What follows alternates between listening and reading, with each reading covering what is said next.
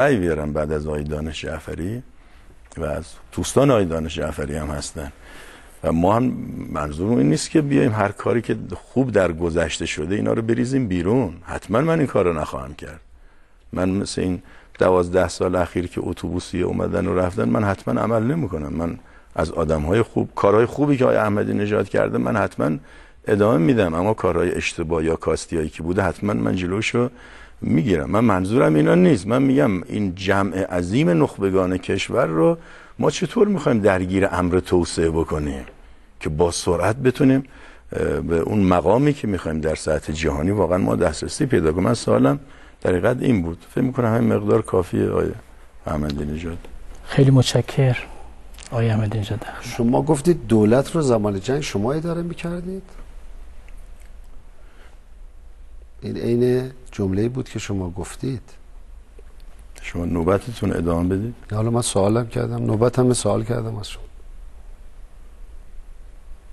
دولت رو در زمان جنگ اشاره کردید همینجا ضبط منظور... بله من منظورم همین بود که در بسیاری از شهرستان ها استان ها اصلا بار اصلی اداره دولت رو دوش ما بود. تو خود مناطق پنج استان در حقیقت مناطق جنگی بسیاری از ما پاسدارامون رو میفرستادیم فرماندار می‌شدن استاندار می‌شدن و صبح تا شب ما با اینها ارتباط داشتیم جلسه میذاشتیم.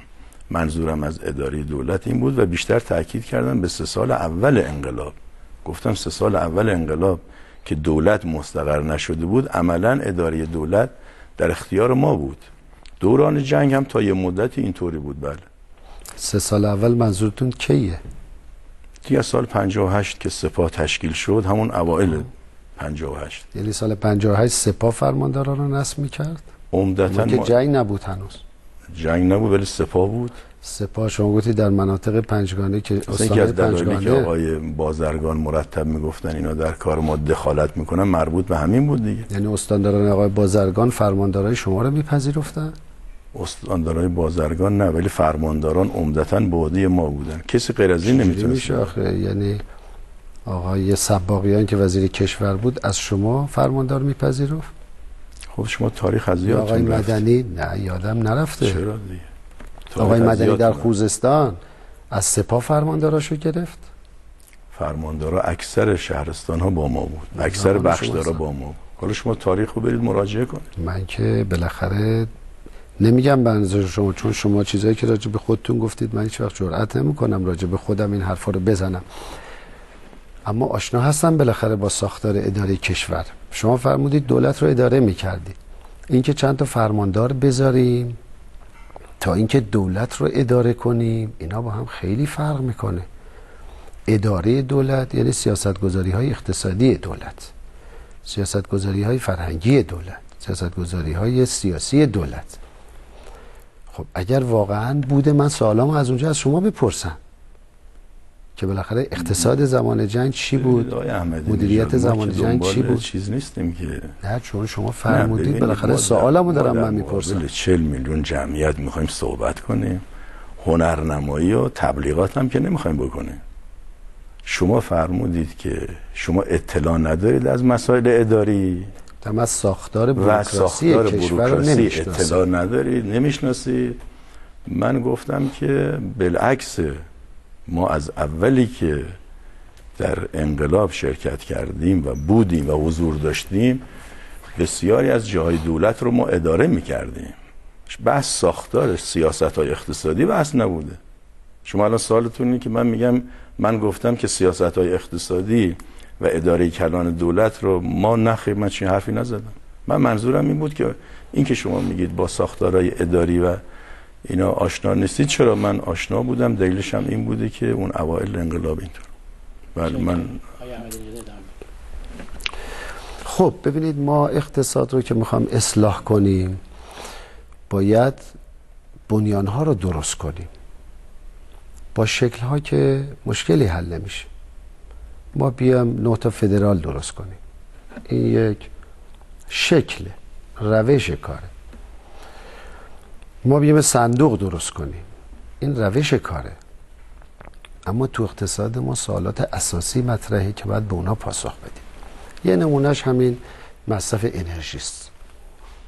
معادل 4 میلیون و 200 هزار بشکه مصرف انرژی داخله. شما هم قبول دارید که این اصرافه از یارانه جدی هم استفاده می‌کنه. یارانش هم ناعادلانه توضیح میشه چون هر کی بیشتر مصرف می‌کنه بیشتر می‌بره.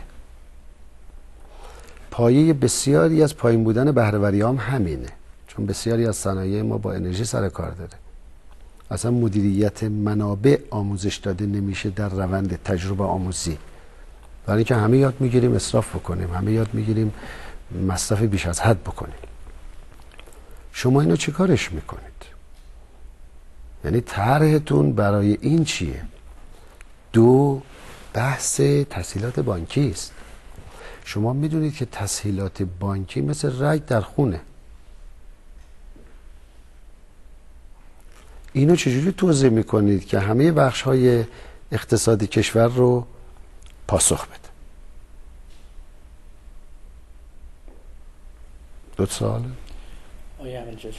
شما زمان بندی نکنید. ما می‌خوام بحث کنیم دیگه. چرا شما می‌خواید قطع بکنید؟ می‌خوام که توافق هر دو طرف باشه و زمان من سوال می‌کنم. ایشون جواب میده. من سوال می‌کنم. استفاده کنید که من, من سوال کردم. نمی‌خواد پاسخ بدید. من نه من که پاسخ میدم. بالاخره شما سوالاتی کردید. من پاسخ چقدر وقت چقدر وقت مونده؟ بله. عرض بودتون که آقای احمدی نژاد 35 دقیقه تا حالا صحبت کردن حدود و شما 33 دقیقه. در بحث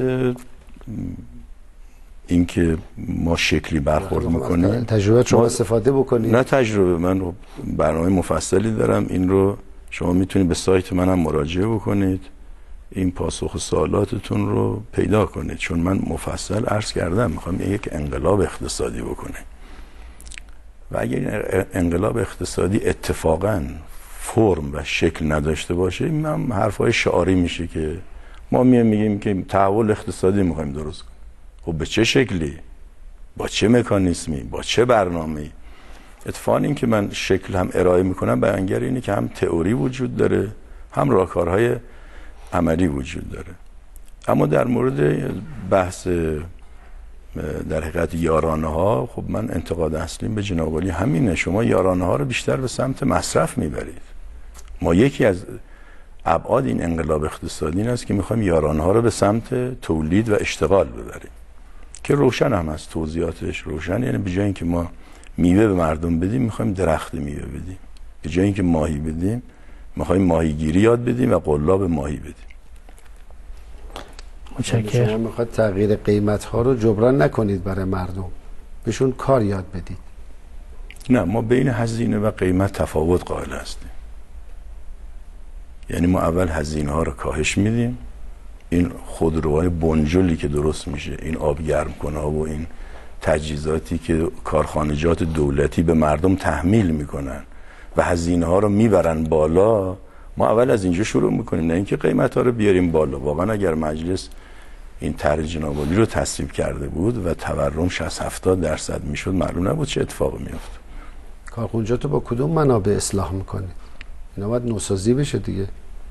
کی الان علاقه مند بیاد نوسازی کنه؟ وقتی انرژی ارزان داره کدوم کارخانه حاضر بیاد سرمایه گذاری کنه؟ این اشکال دیگه دولت شماست. یعنی شما امنیت دولت ما نیست اشکال شما امنیت سرمایه گذاری رو نمی‌تونید تأمین کنید. من امنیت سرمایه گذاری رو تأمین می‌کنم.